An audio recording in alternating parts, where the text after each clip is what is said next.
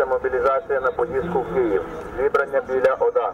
З такими закликами у Івано-Франківську оголосили екстрену мобілізацію. По обіді на вулицю Грушевського прибули два автобуси, якими в Київ терміново виїхали усі, хто бажає підтримати протестні акції. Люди вже нічого не говорять. Люди просто сідають і їдуть. Причому в першу чергу люди, які вже пройшли е, скажімо, школу на Майдані. А вік різні люди. Звичайно, що неповнолітні не їдуть.